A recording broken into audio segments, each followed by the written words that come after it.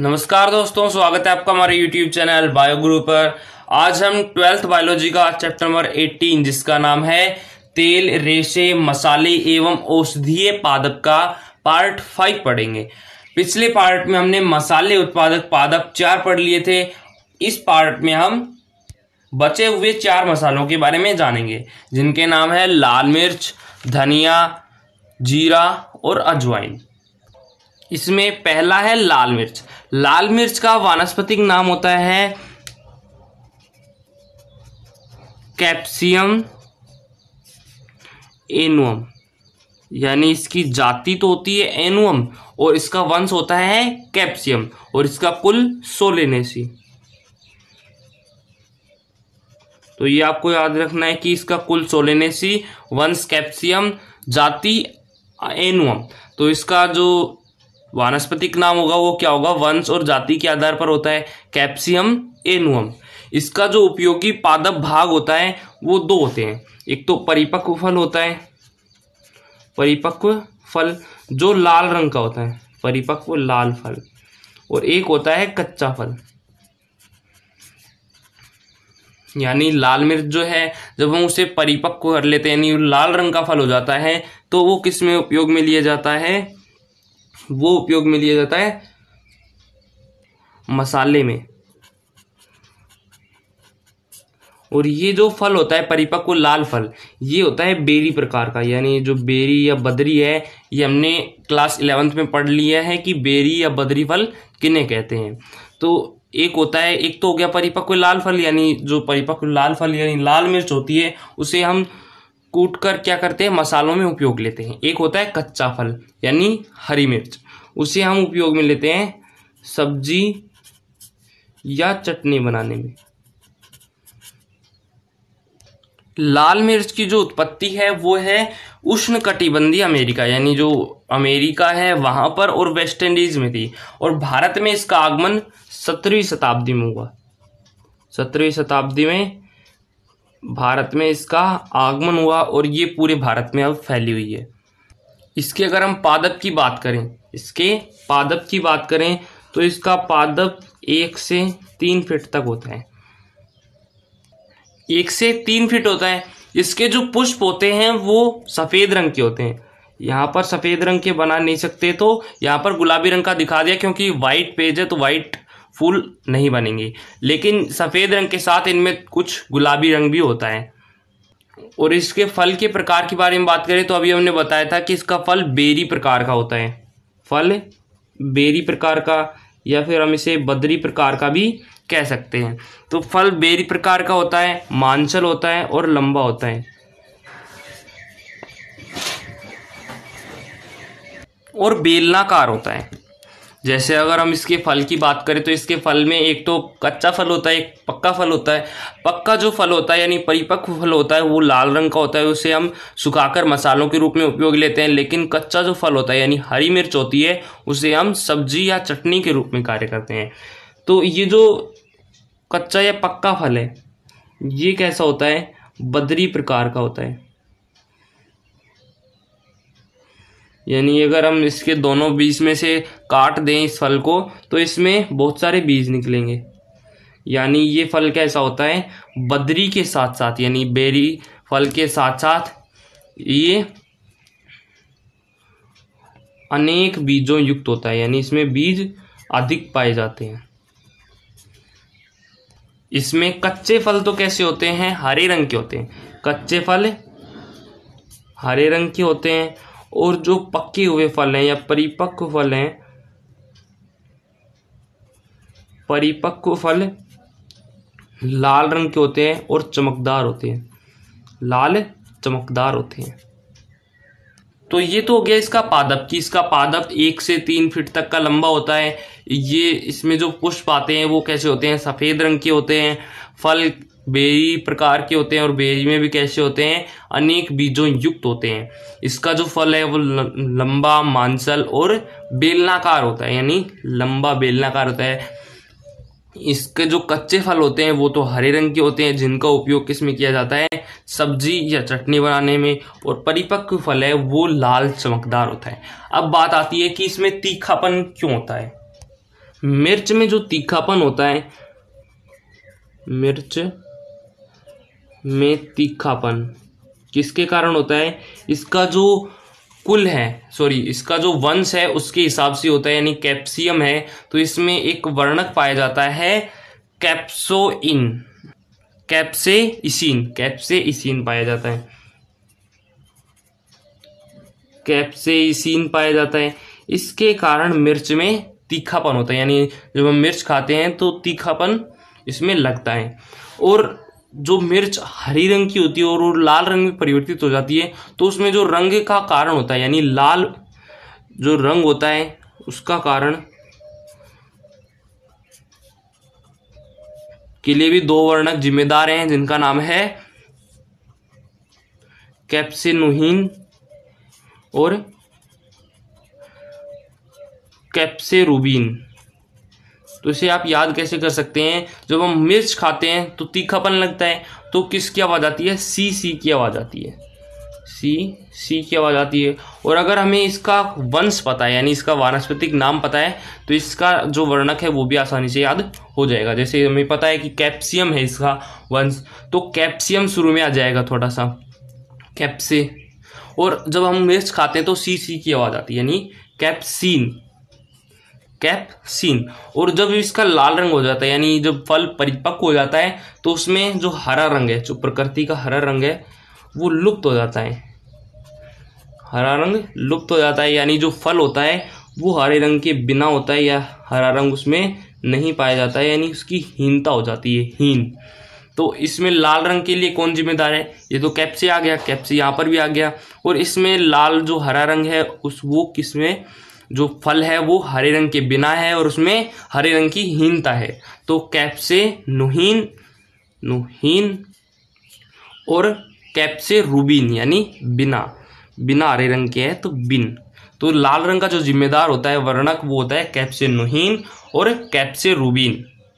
इसमें जो कैप्से सीन होता है, यानी जो तीखापन होता है, यही कारण होता है कि मिर्च को जो है वो पाउडर के रूप में उपयोग लिया जाता है। जो हम खाते हैं मसालों के रूप में, उनमें उपयोग में लिया जाता है।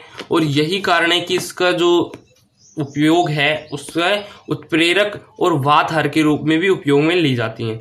यही कारण होता है कि जो आफरे के रोगी हैं, ये कई बार पूछ लिया जाता है कि आफरे के रोगी को किसके खाने की सलाह दी जाती है? यानी उनको खाने की सलाह दी जाती है मिर्च क्योंकि मिर्च में पाया जाता है कैप्सीसिन। सॉरी कैप्से इसिन कैप्से इसिन मिर्च का तीखापन कैप्सेसिन और लाल रंग कैप्से नुहीन और कैप्से रूबिन मसाले उत्पादक पादप में अगला है धनिया। इसका वानस्पतिक नाम कोरिएंड्रम कोरिएड्रम स्टाइवम होता है। यानी इसकी जो जाति होती है, वो तो स्टाइवम होती है और इसका कुल सॉरी इसका वंश होता है कोरिएंड्रम और इसके कुल की अगर हम बात करें तो इसका कुल होता है अम्बेली फेरिस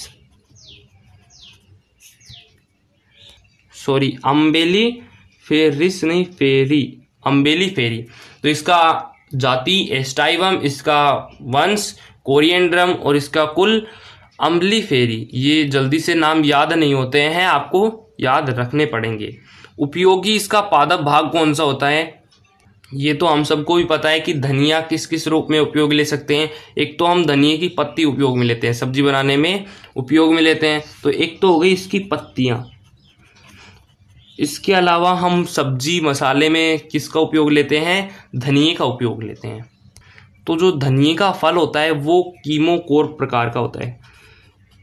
कीमो कोर प्रकार का होता है। ये हमने ग्यारहवीं में पढ़ लिया था कीमोकोर किसे कहते हैं? ऐसा फल जिसमें दो फलनांश पाए जाते हैं। तो हमें पता है, धनिए में दो फलनांश पाए जाते हैं।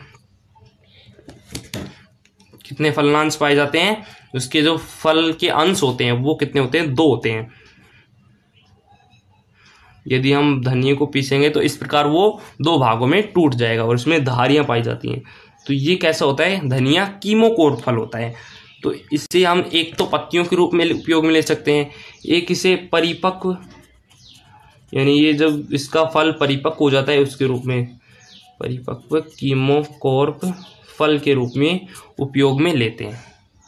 इसकी उत्पत्ति भूमध्य सागरीय क्षेत्र में होती है और भारत में भी इसकी खेती की जाती है। भारत में मध्य प्रदेश, महाराष्ट्र, तमिलनाडु आदि राज्यों में इसकी खेती की जाती है। और राजस्थान में अगर हम बात करें तो राजस्थान में बारह कोटा और झालावाड़ में धनिया की प्रमुख रूप से खेती की जाती है। यानी जो धनिया है, उसके उत्पादक ज़िले कौन कौन से हैं? बारह कोटा और झालावाड़। इसके अगर हम पादप की बात करें, इसका पादप एक वर्षीय होता है, यानी जब हम इसकी खेती करते हैं तो ये एक वर्ष से ज़्यादा नहीं रहता है। और एक साख प्रकार का पौधा है जैसा कि आपने देखा होगा कि ये इसकी लंबाई ज़्यादा नहीं होती ये छोटा ही पौधा होता है। तो ये एक वर्षीय साख होता है। एक वर्षीय होता है और शाख प्रकार का पौधा होता है। जो पौधे होते हैं वो कितने प्रकार के होते हैं? तीन प्रकार के होते हैं शाख वृक्ष और झाड़ी। जिसमें से जो धनिया का पौधा है वो कैसा होता है? शाख प्रकार का होता है। इसकी खेती किसके लिए की जाती है? जैसा कि हमने पहले जान लिया था कि इसका उपयोग पत्ती और इसके बीजों के लिए किया जाता है। यानी इसकी जो खेती है, वो किसके लिए की जाती है? इसकी पत्तियों के लिए और इसके बीजों के लिए। बीजों से क्या किया जाता है? मसाले बनाए जाते हैं और पत्तियों को सीधे ही हम भोजन का स्वाद बढ़ाने के लिए उपयोग में लेते हैं। इसका पुष्पक्रम संयुक्त छत्रक होता है। यानी अगर हम इसकी पुष्पक्रम की पूरे की बात करें तो इसका पुष्पक्रम पूरे एक छाते के समान होता है। छत्रक तो किस प्रकार का होता है? एक एक इसमें पुष्पक्रम होता है, इसमें पुष्प लगा होता है, इस प्रकार से। इसे तो हम कहते हैं छत्रक। और संयुक्त छत्रक धनिया का पौधा होता है, यानी ये एक छत्रक है, ये वाला एक छत्रक है, दूसरा छत्रक, ये तीसरा चौथा, इस प्रकार इसमें बहुत सारे छत्रक है, जो आपस में मिलकर पूरी एक संरचना बनाते हैं, छाता के समान। तो इन्हें हम कहते हैं संयुक्त छत्रक। इसके पुष्पक्रम कैसे होते हैं? संयुक्त छत्रक होते हैं। इसके फल के बारे में हमने पहली बात कर ली थी। इसके फल होता है कीमोकोर कीमोकोर का मतलब क्या होता है? ऐसे फल जिनमें दो फलांशक होते हैं। यानी जो फल होता है, उसके कितने अंश होते हैं? दो फल होते हैं, दो फलांशक होते हैं और इसके फल के ऊपर दस धारियाँ होती हैं। जैसे इसका जो परिपक्व फल होता है, वो कुछ इस प्रकार का होता है। यहाँ पर जब फल लगेंगे तो वो भी संयुक्त छत्रक के रूप में ही लगेंगे। जैसे यहाँ पर इसके फल लग गए हैं। यानी इनमें परागण सॉरी परागण हो गया है। अब परागण होने के बाद में ये संयुक्त छत्रक के रूप में ही लगते हैं। अब अगर हम इसके बीज का अवलोकन करें तो इसका बीज इस पे बीज में कुछ इस प्रकार से होता है, ऊपर बाह्य बीज चोल होता है, बाद में से हटा दिया जाता है। अब इसके बीज में होती हैं दस धारियाँ, और इसके फलांश जो होते हैं वो दो होते हैं।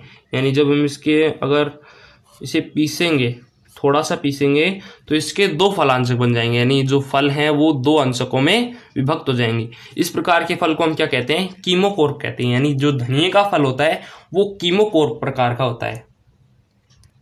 इसे हम किसके रूप में लेते हैं? मसालों के रूप में लेते हैं। मसालों के रूप में लेते हैं तो सीधी सी बात है, इसमें गंध होगी। वो गंध किसके कारण होती है? कोरिएंड्रोल के कारण होती है।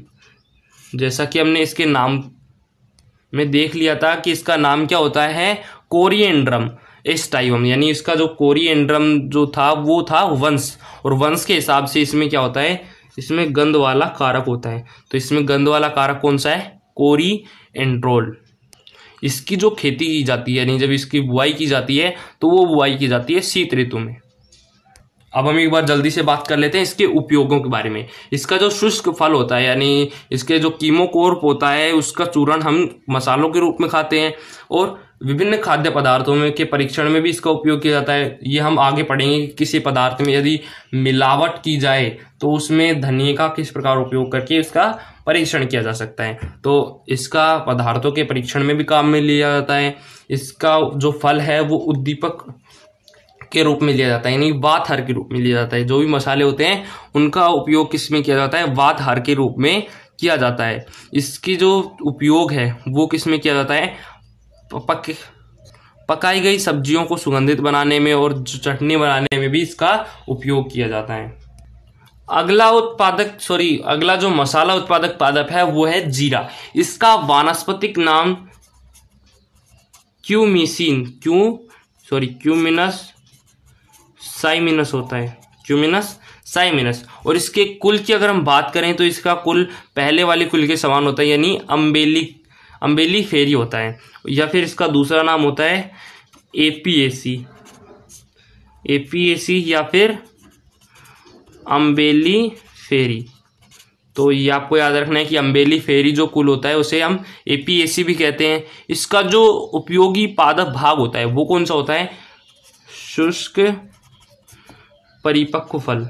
और इसका फल जो है, वो कीमोकोर प्रकार का होता है। यानी इसके फलांशक भी दो होते हैं। तो इसमें आपको याद क्या रखना है? जीरे का वानस्पतिक नाम, क्यूमिनस, साइमिनस यानी साइमिनस इसकी जाति है, क्यूमिनस इसका वंश है। इसका कुल एपीएसी है और जीरा हम किसके रूप में लेते हैं, यानी इसका जो मसाला हम इसके फल से प्राप्त करते हैं। इसका फल कौन सा होता है? कीमोकोर्ब होता है।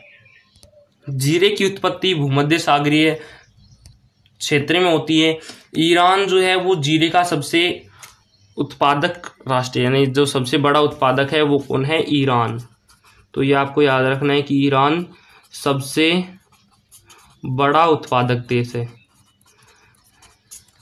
यानी कि जो ईरान देश है, उसमें जीरे की खेती सबसे ज़्यादा की जाती है और वही, यानी जो ईरान है, वही सबसे ज़्यादा निर्यात करता है, यानी दूसरे देशों को प्रदान करता है। क्योंकि उसमें उत्पादन अधिक होता है और उत्पादन अधिक होने के कारण वो निर्यात भी अधिक करता है। भारत में भी एक वर्ष सॉरी भारत में भी एक वर्षीय जो जीरा है, यानी जीरा एक वर्षीय है इसका उत्पादन पंजाब, यूपी में किया जाता है। इसका पादप एक वर्षीय होता है। इसका पादप एक वर्षीय और शाख प्रकार का होता है, यानी ज़्यादा बड़ी इसकी लंबाई नहीं होती है, ये शाख पौधा होता है। अल्प शाखित होता है, यानी इसमें शाखाएँ कम निकलती हैं, सीधे ही ऊपर संयुक्त छत्रक बन जाते हैं। तो इसका जो अगला गुण है, वो है अल्प शाखित यानी इसमें शाखाएँ कम निकलती हैं। अब बात करते हैं इसके पुष्पक्रम के बारे में। इसका जो पुष्पक्रम है, वो है पुष्पक्रम। जैसा कि ऊपर हमने पढ़ लिया था, इसका पुष्पक्रम संयुक्त प्रकार का होता है, संयुक्त छत्रक होता है।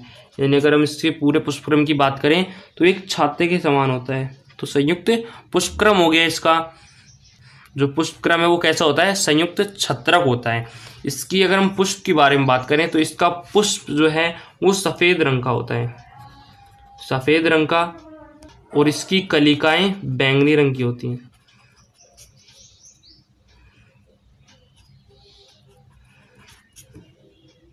इसका जो फल होता है, कुछ इस तरह से होता है इसमें भी धारियाँ पाई जाती हैं और ये भी दो फलांशों में टूट जाता है।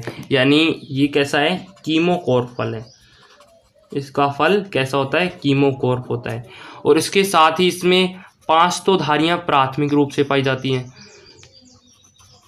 और सात धारियाँ द्वितीय रूप से पाई जाती हैं। यानी अगर हम बाहर की साइड देखें तो इसमें पाँच दारियाँ हैं और जब इसे तोड़ते हैं, यानी कीमो का और फल है तो दो फलांशों में टूट जाता है उसके बाद में सात द्वितीयक धारियाँ निकलती हैं। इसके फल में जो गंध होती है, वो क्यूमिन एल्डिहाइड के रूप में होती है। यानी इसके फल में क्यूमिन एल्डिहाइड पाया जाता है, जिसके कारण इसमें गंध होती है।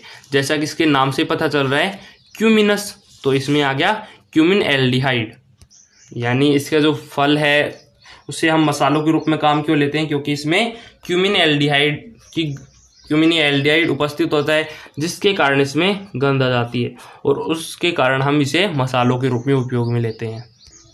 अगला मसाले उत्पादक पादप है अजवाइन। इसका वानस्पतिक नाम टेकीपॉर्थ एक ही होता है। टेकीपॉर्थ एक ही। इसके कुल हमारे चैप्टर में नहीं दिया हुआ है। वैसे आपको बता दें कि इसका कुल एपीएसी होता है।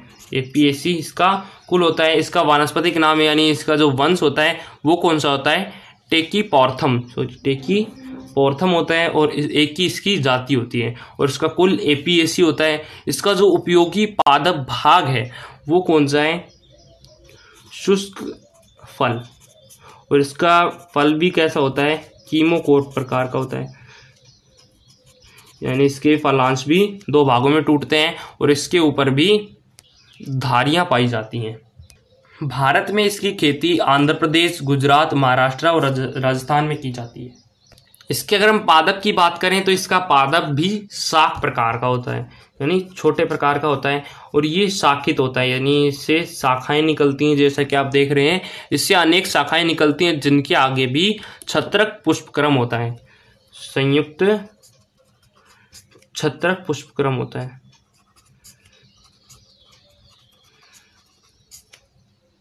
जैसा कि आपको बता दिया गया है कि इसकी खेती भारत में भी की जाती है। तो भारत में इसकी खेती की जाती है और ये एक रबी की फ़सल है।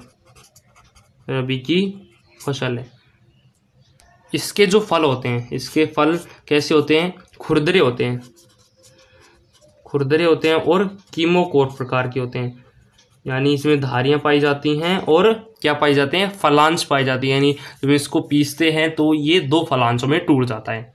इसका जो फल होता है, इसका जो शुष्क कीमोकोर फल होता है, इसमें थायोसोल पाया जाता है। थाइसोल पाया जाता है जिसके कारण इसमें एक गंध होती है। इस यही कारण होता है कि इस, इसका उपयोग किसमें किया जाता है? उद्दीपक के रूप में किया जाता है, मसालों के रूप में किया जाता है, वात हर के रूप में किया जाता है। तो कैसी लगी आपको वीडियो, कमेंट में ज़रूर बताइए। अगर आपको अच्छी लगी हो तो प्लीज़ अपने दोस्तों के पास शेयर कीजिए। धन्यवाद।